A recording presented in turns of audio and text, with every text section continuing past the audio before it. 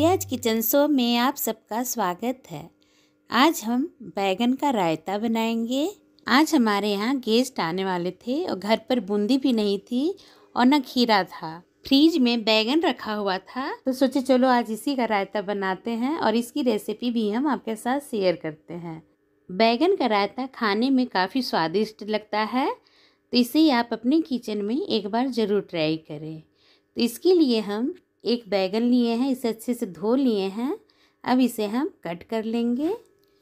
मेरी रेसिपी आपको पसंद आए तो मेरे चैनल को लाइक, शेयर और सब्सक्राइब करें और ऐसे ही रेसिपीज़ देखने के लिए मेरे चैनल से आप जुड़े रहें।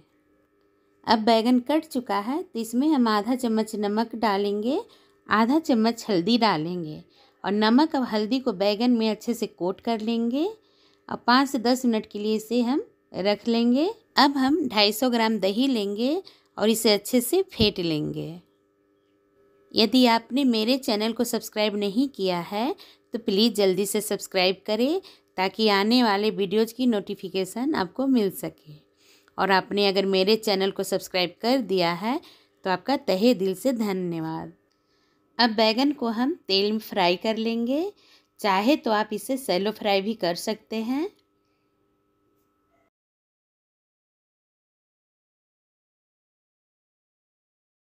बैगन को हम पलट लेंगे, इसे गोल्डन ब्राउन होने तक अच्छे से फ्राई करेंगे। और बैगन फ्राई हो चुका है तो इसे अब हम तेल से निकाल लेंगे। इसे हम प्लेट में रख लेंगे।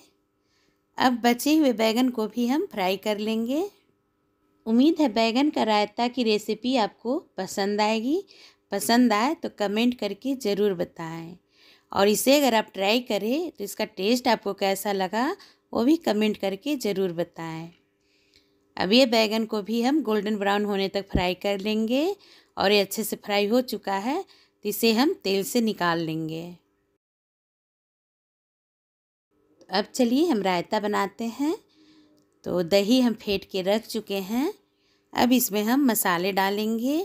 तो मसाले में हम नमक, काला नमक, चाट मसाला, भुना हुआ जीरा पाउडर और लाल मिर्च पाउडर लिए हैं। अब इसे दही में अच्छे से मिक्स करेंगे।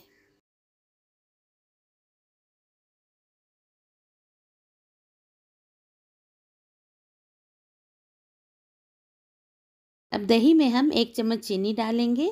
इससे रायते का टेस्ट और भी बढ़ जाता है। अब इसे अच्छे से फेंट लेंगे।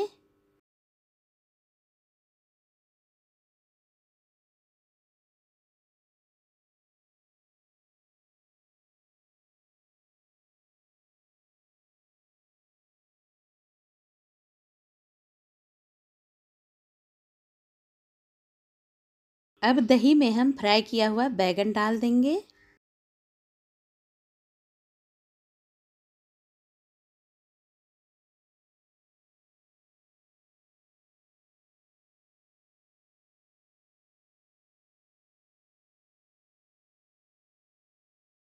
अब दही में हम बैगन को अच्छे से मिक्स कर लेंगे।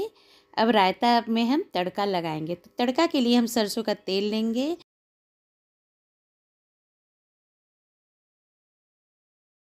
तेल को हम अच्छे से गर्म होने देंगे। तेल अच्छे से गर्म हो चुका है तो इसमें हम सूखी लाल मिर्च दो डालेंगे, एक चम्मच हम सरसों डालेंगे।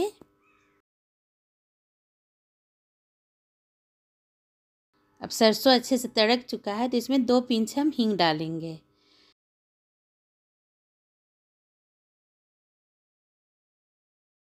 अब रायते में हम तड़का लगा देंगे, कटी हुई हरी धनिया पत्ती डाल देंगे और टेस्टी बैगन का रायता बनकर तैयार है। तो चलिए इसे अब हम बाउल में सर्व करते हैं। रायता की रेसिपी आपको पसंद आए तो चैनल को लाइक, शेयर और सब्सक्राइब करना बिल्कुल भी ना भूलें और रेसिपी कैसी लगी कमेंट करके ज़रूर बताएँ।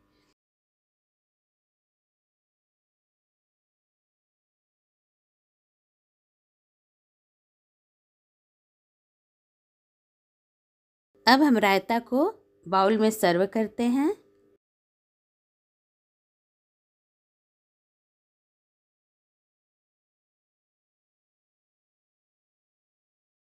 टेस्टी बैगन का रायता आप इंजॉय करें। वीडियो पसंद आए तो लाइक शेयर और सब्सक्राइब करना बिल्कुल भी न भूलें।